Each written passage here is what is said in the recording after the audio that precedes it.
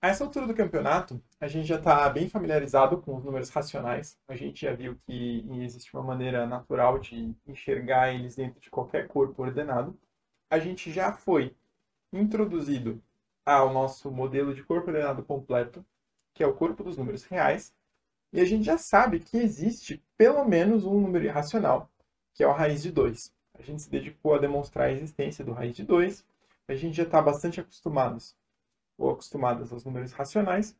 E agora uma pergunta que a gente pode se fazer e que a gente vai responder agora é como que esses números estão distribuídos pela nossa reta real. Então a gente tem essa imagem geométrica, né, de que R é uma, uma reta orientada sobre a qual é, os, os números reais é, representam pontos e a gente pode se perguntar, né, como é que os, os racionais e os irracionais estão espalhados em cima dessa reta.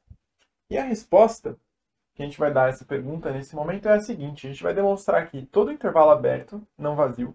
Então é um conjunto I da forma AB, né, onde A é menor do que B. Então, só para recordar, esse cara aqui são os números reais x que se encontram estritamente entre a e B, o que a gente vai fazer? A gente vai demonstrar que esse conjunto ele sempre contém tanto números racionais quanto números irracionais. E esse resultado normalmente é mencionado como o resultado a respeito da densidade desses conjuntos. Então, nesse primeiro momento, a gente pode pensar que densidade de um conjunto significa que ele intercepta ou encontra todos os intervalos abertos.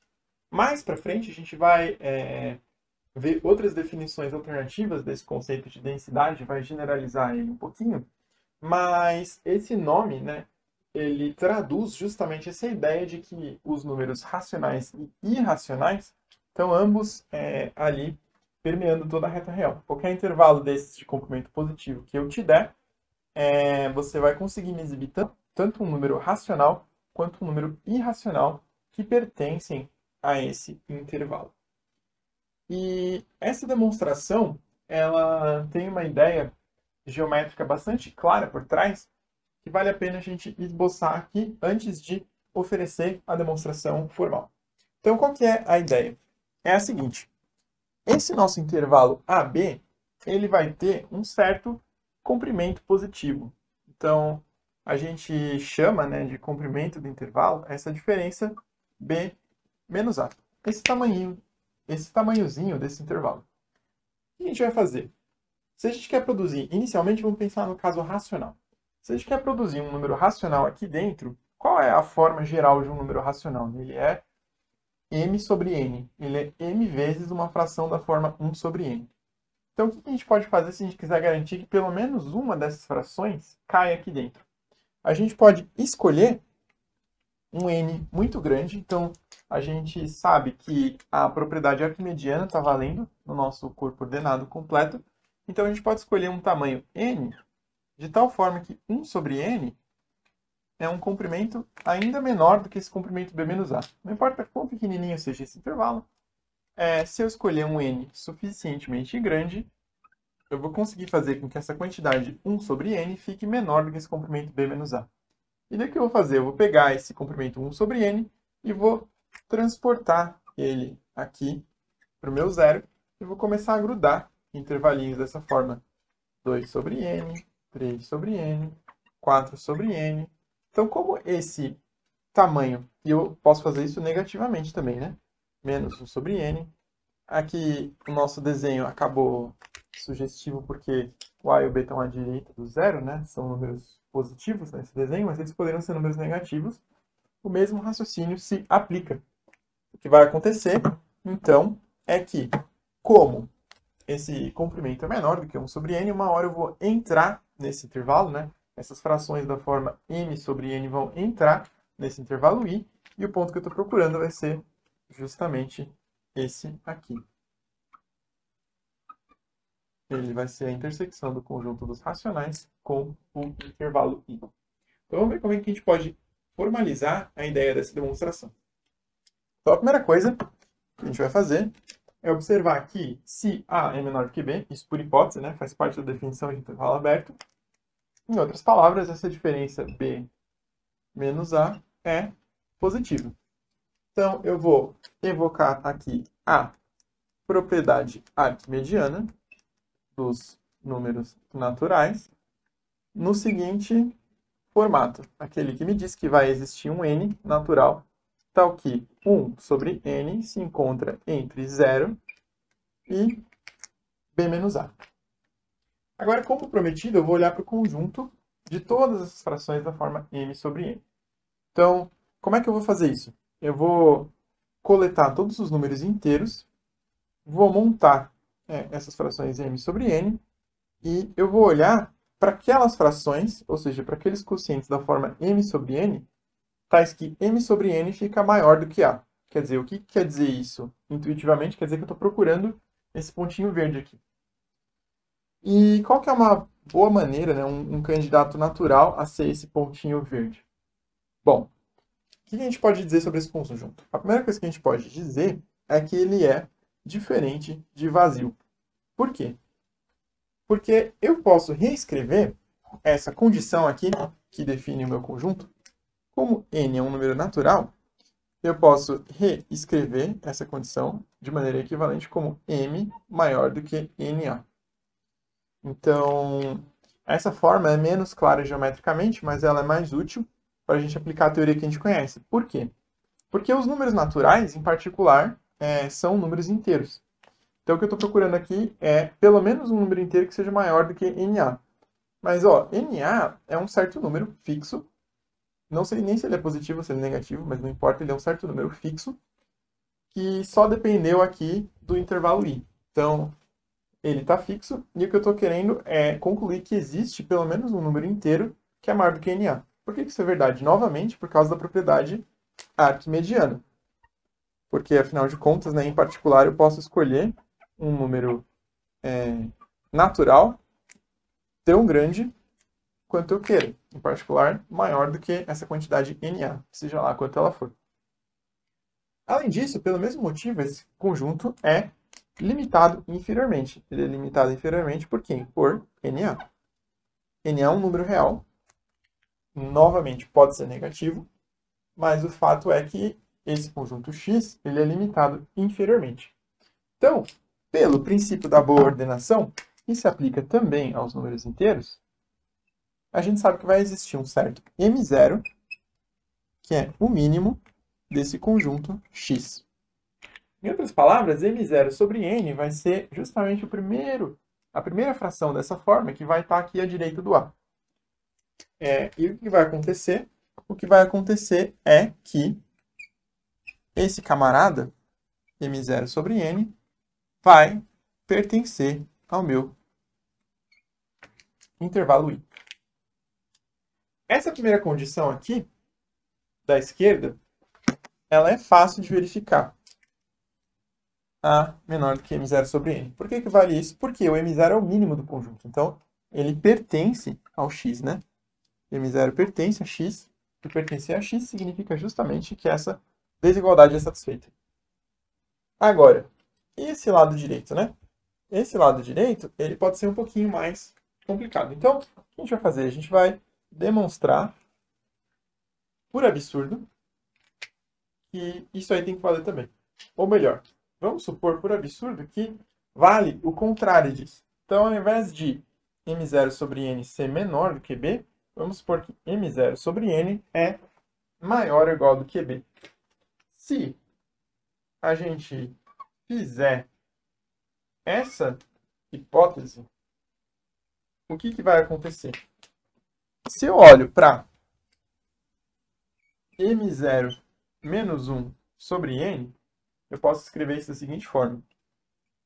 m0 sobre n menos 1 sobre n.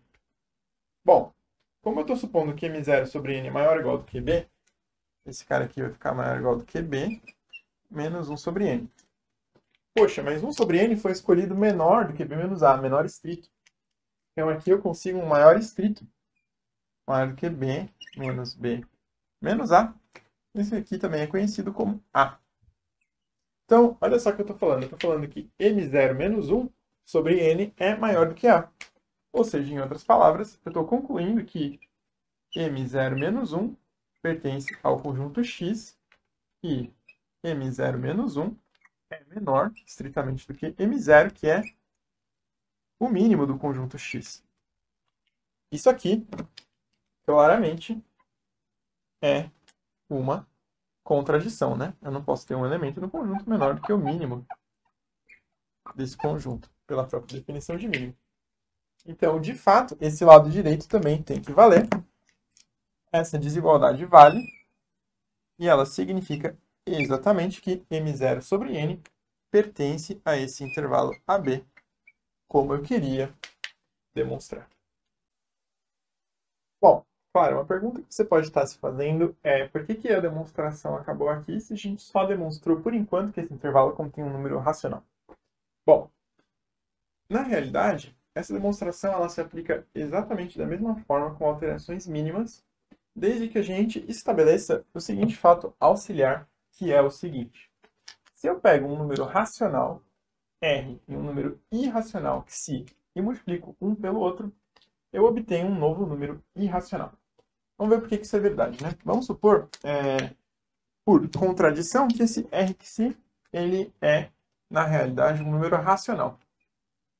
Então, significa que ele é da forma P sobre Q, né? Para alguns P e Q inteiros, por exemplo. E o importante é que, então, eu posso escrever que sim como P sobre Q R. E esse R sendo racional, é, o inverso dele também é racional. Quando eu multiplico por um racional, resulta um novo racional. Então, essa expressão aqui do lado direito, ela seria um número racional também, contradizendo o fato de que nosso xi lá no início, ele era irracional. Então, a gente vê que se eu pego um número irracional multiplico por um racional, eu novamente obtenho um número irracional. Agora, acontece que a gente já demonstrou a existência de pelo menos um número irracional. Que número irracional era esse? Era a raiz de 2. Então, o que eu vou fazer aqui? Eu vou pegar essa minha demonstração exatamente como está e eu vou fazer umas pequenas adaptações. A primeira coisa que eu vou fazer é que eu vou trocar esse b menos a por b menos a sobre raiz de 2. Aqui está tudo certo, porque a gente já viu que raiz de 2 é positivo. Então, esse lado direito é igualmente um número positivo e a propriedade arquimediana me permite escolher um n satisfazendo isso da mesma forma. Agora aqui, eu vou olhar para o seguinte conjunto eu vou olhar para o conjunto tais dos m inteiros, tais que m sobre n fica maior do que a sobre raiz de 2, ou, equivalentemente, aqui no meu, na minha observação, m fica maior do que na sobre raiz de 2. Bom, é, na sobre raiz de 2 é um certo número fixado, tão fixado quanto na era, então a propriedade arquimediana novamente me garante que x é não vazio, e novamente esse conjunto é limitado inferiormente, só que dessa vez por NA sobre raiz de 2. Muito bem. Então, o princípio da boa ordem se aplica da mesma maneira a um conjunto de números inteiros não vazio limitado inferiormente. Eu encontro o mínimo M0 desse conjunto. Só que agora, o que eu vou afirmar? Eu vou afirmar que quem está aqui entre A e B não é o M0 sobre N, mas sim o M0 raiz de 2 sobre n. E m0 raiz de 2 sobre n é um número irracional, por causa disso aqui, com r igual a m0 sobre n e xi igual a raiz de 2. Então eu só preciso concluir que está valendo essa desigualdade. Novamente, o lado esquerdo, né, ela segue da própria definição do conjunto x. Se eu passar aqui o raiz de 2 multiplicando, eu vejo que m0 raiz de 2 sobre n de fato é maior do que a. Eu vou supor, por absurdo, eu vou supor que o b é menor ou igual do que m0 raiz de 2 sobre n. Então, quando eu monto essa expressão, dessa vez o meu m0 sobre n, se eu passo raiz de 2 dividindo, fica maior do que b sobre raiz de 2. Esse 1 sobre n foi escolhido aqui é menor do que b menos a dessa vez sobre raiz de 2. E eu concluo que o m0 menos 1 sobre n fica maior do que a sobre raiz de 2, que é exatamente a condição que define meu conjunto x grande. Então eu chego exatamente à mesma contradição, imitando a estratégia de demonstração.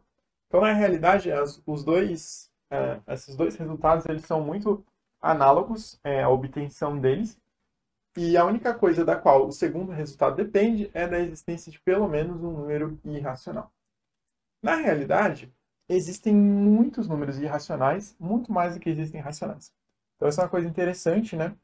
Um, a gente tem essa noção de cardinalidade de conjuntos, que seria a quantidade de elementos de um conjunto, quando ele é finito.